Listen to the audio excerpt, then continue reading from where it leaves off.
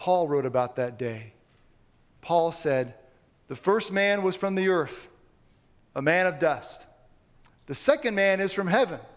And just as we have borne his image of the man of dust, we shall also bear the image of the man of heaven. Behold, I tell you a mystery. We shall not all sleep, but we shall be changed in a moment, in the twinkling of an eye, at the last trumpet. For the trumpet will sound, and we will be, and, and, and the dead will be raised imperishable, and we shall be changed. For this perishable must put on the imperishable, and this mortal body must put on immortality.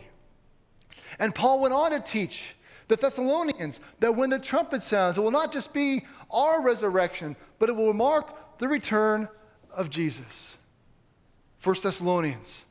For the Lord himself will descend from heaven with the cry of command and the voice of an archangel and the sound of the trumpet of God, and the dead in Christ will rise first. And then we who are alive, who are left, will be caught up together with them in the clouds to meet the Lord in the air. And so we will always be with the Lord. My friends, there is a day coming. It is a great day. But Jesus is not just returning for us but for the whole of creation. Jesus' passion, Jesus' passion is, is his church. It is his people. But the church is an instrument. It is a means to build the kingdom. It is not the kingdom itself. Because the whole of creation groans under the weight of humanity's sin, the whole of creation stands in need of redemption. When God placed humanity in, in, in, in the garden. He gave us authority, He gave us dominion over the earth. Not to dominate, not to desecrate, not to deprecate. Instead, God said, Work the land, keep it, improve upon what I have created. When God made creation, He called it very good. He didn't call it perfect. You see, creation is not a monument. It is a tool to worship the Creator. It is not created to be worshiped. And when Adam and Eve sinned, they cursed themselves and they cursed the land. They brought death into a world that only knew life. And they separated themselves from each other and from God, and the land brought forth thistles and thorns. When God sent Israel into the promised land, He said, if they were obedient, the land would be made fruitful and prosperous. If they were disobedient, God covenanted that the land would be made barren and pestilent. In Isaiah, it promises that the coming again of Jesus Christ will not only restore humanity, but it will restore the creation God charged us to keep. Isaiah 65 For behold, I create a new heavens and a new earth, and the former things shall not be remembered or come into mind. Nor more shall there be in it an infant who lives but a few days, or an old man who does not live out his days. They shall build houses and inhabit them. They shall plant vineyards and eat their fruit. The wolf and the lamb shall graze together. The lion shall eat straw like the ox, and the dust shall be the serpent's food. They shall not hurt or destroy in all my holy mountain, says the Lord.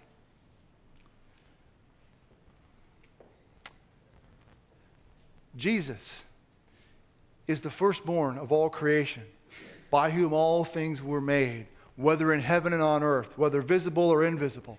He is the Word of God, born into that creation, so that all creation might be made right. So that all things, whether invisible or visible, whether in heaven or on earth, His whole creation might be restored and renewed and redeemed and set at peace with God. Now, if you missed the last 11 weeks, the story is simple. I'm telling you now rather than at the beginnings to get you to come to the whole thing. We'll just save you three months by telling you the whole story now. God made the heavens and the earth. He made men and women in his image to rule it with him. We tried to become like God, and we broke his creation and we broke our relationship with him and the Father. God pursued his sons and daughters through the family of Abraham and Isaac and Jacob and David. In the fullness of time, the Word became flesh, and he himself descended from heaven to dwell among us. His name is Jesus. We sin by wanting to become like God. God, is, God set us free from sin by becoming like us. Jesus, who is the judge of this guilty world, was judged guilty by the world. But death could not contain him. Jesus broke the bonds of death and, as a living flesh and blood human being, ascended on our behalf into heaven, where he sits on the throne of the cosmos as king. Jesus sends his people, called the church, into the four corners of the world to proclaim the gospel and make disciples. And he sends the Holy Spirit to fill his people, to empower them and do even greater works than he. And now, and now we wait for him to return in power and glory and make all things new, including you and me and everything we see, and reunite us with God for all eternity. There is a day coming. There is a day coming, and it is a great day. What will that day look like? God gave a picture to John. Then I saw a new heaven and a new earth. For the first heaven and the first earth had passed away, and the sea was no more. And I saw the holy city, New Jerusalem, coming down out of heaven from God, prepared as a bride adorned for her husband. And I heard a loud voice from the throne saying, Behold, the dwelling of God is with man. He will dwell with them, and they will be his people, and God himself will be their God, and he will wipe away every tear from their eyes. And death shall be no more, neither shall there be mourning, nor crying, nor pain anymore, for the former things have passed away. Behold, I am making all things new. All things. When Jesus comes again, what our sin made wrong, he will finally set right. The world will be restored. We will be made new. Death will be dispatched. Pain will be put away. Every tear will be wiped away. And we will have the very desire of our heart, which is to be with God. But that isn't all the Lord revealed to John.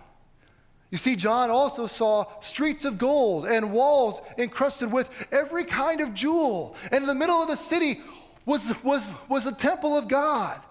And there was no need for any light, for the glory of the Lord will lit up his restored creation. And the kings of the earth will come and bend their knee at his throne. And from that throne, where reigns God the Father and Jesus Christ the Son, will flow the river of the water of life through the middle of the city and out into the restored creation. And by that river will stand something humanity has not known since the Garden of Eden, since the former paradise. The tree of life, yielding its fruit, free, free to be taken at will. My friends, there is a day coming, a great day. Where will you be? On that day. For the last uh, four months, we have been telling the greatest story the world has ever known or will ever know. And one of the things that makes it so great is that this story can be our story. Our rejection of God, our redemption by God, a resurrection like God, to be restored to our rightful place with God. The story of God's word ends with these words spoken by the Word who became flesh. Surely I am coming soon. And then this cry of John's heart Amen. Come, Lord Jesus. My friends, there is a day coming, a great day. It can be your story if this is the cry of your heart too. Amen.